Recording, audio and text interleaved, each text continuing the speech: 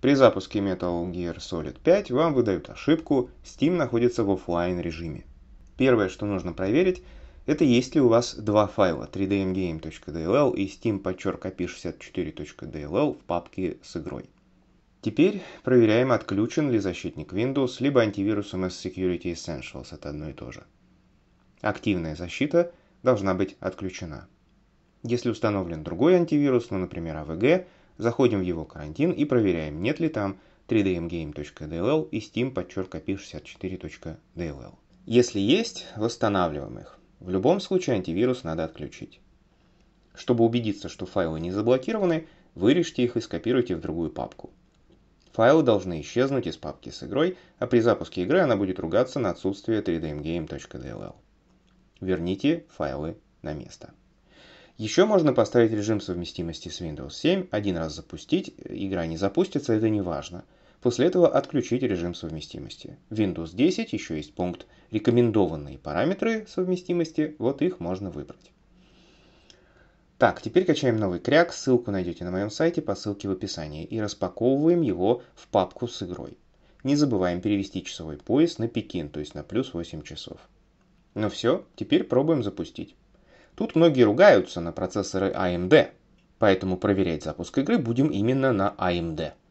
AMD не делает плохих процессоров. Никогда. Если у вас что-то не работает, то AMD не виноваты. Виноваты вы сами, потому что руки у вас растут из жопы.